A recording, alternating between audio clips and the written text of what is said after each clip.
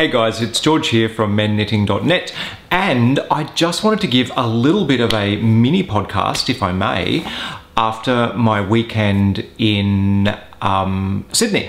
So, it has been a huge week. As you remember from the last time that we chatted, um, that was with the amazing Nathan Taylor. So, Nathan was doing some classes here in Australia as well as New Zealand. So, Unfortunately, the classes in Melbourne did not bode well with my work here. So thankfully, the wonderful people at Skein Sisters in Sydney were having classes across the weekend. So I was able to fly up to Sydney, catch up with my loved ones, and do some amazing classes. And it was really, really fun. So it started on the Friday night and that was with a men's knitting group and that was really really cool it's nice to have a group of guys i think it was about probably I think it was about 15 guys in total actually, all knitting, all at different stages of their knitting journey. Um, and it was just really fun. Good food, cheese, wine. Um, I don't actually drink, but I enjoy people who drink. Um, so yeah, we were just really relaxed and chatting.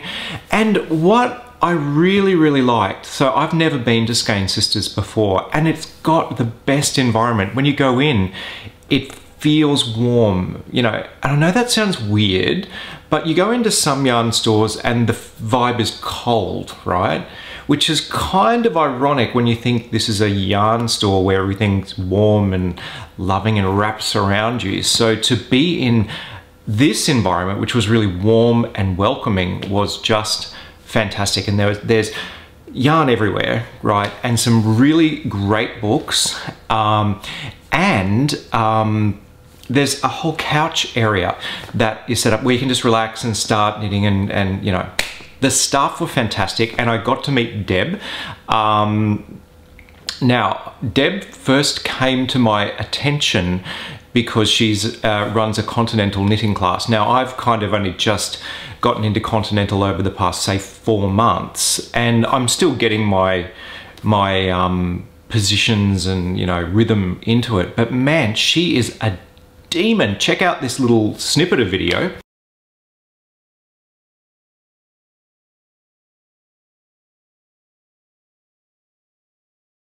um, I know, right? Look at those fingers fly. It is absolutely incredible. So anyway, Deb had a class last week. I really wanted to go, but it was like, I cannot really justify flying to Sydney two weekends in a row. Um, and I, I, let Deb know this and she was going, good, come sit with me, sit beside the couch. And she sat me down and she just went through hand positioning, yarn management. And that was what I needed. That was the, the step that I needed to be able to get a really nice rhythm. And I haven't perfected it yet. And I must admit, I don't know, does, do, do other people get this? I've actually got a yarn burn on my finger. You can, oh, there it is. You can just see there's this one little bit where the, the yarn's been rubbing through that one spot. So I'm, I'm, I'm moving it around and actually going to some throwing for purlings just so I get that. Don't keep on killing that one little bit of skin. But kudos to Deb. Beautiful classes, beautiful environment, and she's just so welcoming, as are all of the staff there. So that was a really, really fun night and a great chance to meet up with fellow knitters in Sydney. And I really, really enjoyed it. So perfect start to the weekend. So the next day was the, I did the double knitting classes with Nathan. Now, I first discovered double knitting in a really good color book. One moment, I'm just I'm just gonna go grab that book. Sorry about that brief interruption. Um, but I wanted to get this book called Mad Color. Um, I picked this up in Loop in London actually. Um, but this was the book that introduced me to double knitting, right? Um, and I thought, wow, that sounds really, really amazing and very complex. So I was like, mm. and it's really weird. I, I, just started chatting to people and everybody said, oh, you should, you should talk with Nathan. Um, and other people were saying, hey, there's this guy called the Sockmatician. You should talk with him. And I was like, hmm, okay. Then a friend of mine said, you really need to talk with Nathan. He's coming to Australia. And I was like, oh, okay, I'm getting the hint, universe. Um, so yeah, um, there I was sitting in the double knitting class. And I have to say, if you get an opportunity to learn off Nathan, I highly recommend it. He is a very patient, incredibly patient teacher, but he is also, he gets down to the nitty gritty, really into the, to the mechanics of how it works. And for my brain, that's, that's perfect. Um, and yet he's still able for, you know, there were some old lags in the room who'd been knitting for the past 60, 70 years in their own style, and he was able to accommodate the way that they learnt as well. So the double knitting was a really good skill. So as part of the class, we had um, we had to make a little swatch, and this was my swatch AP. Um, yes, I haven't done my tails yet. I apologize, but look, beautiful and totally reversible. And what I really like is that this is a super, super dense fabric, right? So it's really, really thick. So for a scarf or a cowl or something really nice like that, it's gonna be a fantastic um, option for me. So very excited about learning the basics. So in the first class, the you know um, basic uh, double knitting or in introduction to I can't remember what the name is. Anyway, you you will leave that class being able to make beautiful flat fabrics, um, scarves and, and, you know squares and rectangles and all that sort of stuff. The next class is where shaping comes in and this is where Nathan really comes into his element and the nerd comes out. His hashtag is knit nerdism where he talks about how stitches sit with each other, how stitches sit on the needle, how moving stitches in one direction to another may change the orientation of a stitch or even twist a stitch.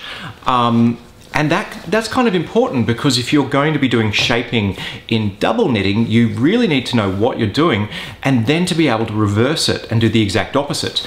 Um, sounds hard, but again, the class was very well paced and it, I was able to pick this up. And that's despite I'd never done double knitting before and I was able to learn some shaping um, at the end of the class and the good handouts and so I have the information that I will be able to work with to continue with my learning. So how am I going to continue with my learning? I'm glad you asked. I am excited. I've purchased the um, the pattern Slideways, which is a really lovely um, scarf. I'll picture up now. And I have chosen some lovely yarn. I have gone for silver and gold and these two together are, are going to be quite delightful. Um, and this is beautiful, beautiful DK, um, vivacious DK, I will tell you now, from fiber plates. Um, and this is merino. It's going to be really, really lovely and warm. Um, and slideways is a really, it, it's an easy pattern because it's got your, your nice blocks of double knitting and it also has increases and decreases um, once every second row and it's only one increase and one decrease. So that's a good learning double knitting plan for me. So I'm excited about that. Um, I'm starting this on my flight in, um, I'm off to America. I'm off to America in, in three days. So this will be on, this will be my project for the plane. Um, after that, um, we had a lovely dinner and it was really wonderful. I think it was like 50 various people knitting. Now, caveats here. I was, in the classes, I was the only male knitter other than um, Nathan. And um, at the dinner, there was me and another bloke plus Nathan as the males of the group. So it's kind of an interesting thing. Let's get this gender balance going, people. If you're finding out about, see, the guys at the men's knitting group, they didn't know that the classes were going on. It's like, I will do my best to promote fantastic teachers who are coming to Australia and let you guys know. So please, if you know somebody is coming who is fantastic, please let me know and I will make sure that I include them in this podcast because one, I want to meet them and two, I want to go to their classes because I want to learn as much as I can because I'm really getting so much from this craft. So next class was Strand Tarsia, Strandtarsia, a mix of two words like stranded, color knitting, and intarsia, and they bring them together for Strandtarsia. So if you are knitting in the round, the issue with doing stranded knitting can be if you're just wanting to put a little icon somewhere inside there, when you do your first round, that's great and it'll look fantastic. Except when you get round to the second round, the yarn's on the wrong end and you can cut and you can move back or you can use the um, the the the tricks that Nathan teaches, and it's it's actually very straightforward um, and fun because you get to do additional skills that you've probably never done before. If you have never knitted backwards, this is the time for you to learn to knit backwards, and it's actually fun, and a little bit of knit nerdism goes a long way, and you'll be able to pick that up. So I have actually never ever done intarsia in my life. Um, I've never knitted with two colors. Um, so I was really, I was really grateful one that, that Nathan was willing to teach me because I was sort of thinking, mm, you know, sitting in the corner with a dunce hat on. But again, he accommodated to everybody in the room's needs, including mine, which was a little bit special ed. Um, but I did well. Look, here's my swatch. Believe it or not, this is a snowflake. Um, you're just gonna have to trust me on this one because my tension is absolutely crap. But again, knitted, this was knitted in the round and to quote a certain knitting teacher, I'll show, I'm even willing to show you my backside. So there you go.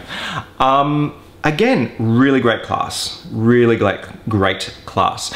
And of course, as is the danger of when you attend classes in a fantastic knitting store, you there is a tendency to get a little bit excited.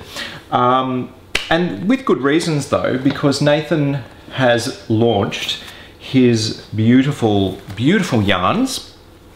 Um, and I managed to get some yarns. I wasn't able to get, they come in grey, or a, a very light, uh, pale grey, black, um, and then the rainbow colors, red, orange, yellow, green, blue, purple. However, you'll notice that they're, they're not bright. Um, and the lighting on this actually shows this up as a lot brighter. I'm just looking, thinking it's actually a much more muted, more deeper, richer color. And the way that it, it has been dyed, it's not a, you know, there's, it's all the same hue. However, it's the, the amount of hue that varies from 80% to 100%. So you've got this slightly mild effect where you've got different densities of color and it's really really nice lovely and squidgy. Merino wool um, a tiny bit of nylon and possum from New Zealand which is very very interesting. Um, so I'm going to be um, knitting up one of Nathan's patterns to this yarn. But I do have to get a few additional balls because unfortunately it was hugely popular. And I wasn't able to get blue and I wanted to be able to do the full rainbow flag effect. So um, I'm just gonna I'll be patient and this will be project number three or four in my queue of projects. First one being slideways. Um, of course there was other really very lovely yarn in the store and it's Christmas is not too far away. So I got this beautiful blue and purple yarn um, which I'm going to do the haiku shawl. Um, you can look it up on Ravelry. Um, by Johanna um, I can't think of her last name but I'll put I'll put a link up and I'm going to do the haiku shawl in these two colors which I think is just going to be stunning. And if my um, stepmom was watching this, surprise! If you're not watching it, then it will be a surprise. Um, but I'm, you know, I haven't changed the pattern or anything like that. So there you go. Um, only other sort of other interesting stuff that I got while I was in store is um, I'm really interested in planned pooling. So I got two of these um, skeins of pooling yarn. So the blues, which I really, really like. I like blues and purples and stuff. Um, and these browns and blacks and creams. I think that's going to be very interesting as well. Um, I haven't fully worked out what I'm going to create with those yet, but ship ahoy, there's lots of stuff going on. Um, so yeah, there you go. That was the weekend. So I, I suppose the dot points are, thank you to um, Skein Sisters in Sydney. You are amazing. Deb, run a fantastic shop and I really appreciate the time that you gave me to, um, you know, add some skills to my, um, my knitting. Thank you. Um, also, um, if you get a chance to attend one of Nathan's classes, I highly, highly recommend it. For people in San Francisco, Nathan is heading over for Vogue Knitting, Vogue Knitting Live, which I believe is at the Hilton. Um, so if you can get into one of his classes, highly, highly recommended. And San Francisco people, I'm actually going to be in San Francisco next week. Um, my partner and I are teaching at the Folsom um, event, and it's not knitting. It's actually um, BDSM and some BDSM safety stuff. So if that's of interest to you, check out the Leathermen's speaking group. Um, we are presenting to the youth group as well as the the the, the main Leathermen's group on Tuesday night and Wednesday night, and that is in the, the, teaching space that's above Mr. S Leather on 8th Street. So really, really looking forward to that. And also to check out um, Folsom San Francisco, because I've never, I've never been. So um, if you've got any suggestions for stores in San Francisco, I would be very appreciative, thank you. Um, there's, is it Instaknits or something like that? That there's one store that just seems amazing, but I'm open to suggestions and they're very gratefully accepted as well. So, um, only other thing that I want to share is my current work in progress. This is a pair of the Stephen West um, Stephen West sports shorts and I'm really excited today because I closed the first leg.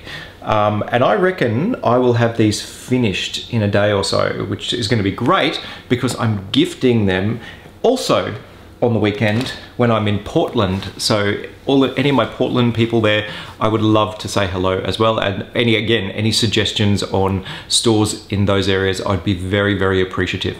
So there you go. Um, I had an amazing weekend. I've been really absolutely dunked, dipped, drowned in, in all sorts of fun, new, nerdy, nitty techniques, and I'm looking forward to being able to share them as well. So, have a fant... Uh, oh, sorry about that. Have a fantastic week, and I look forward to catching up with you at the next time. I might have to do a little video when I'm in San Francisco. Have a great one. See you guys.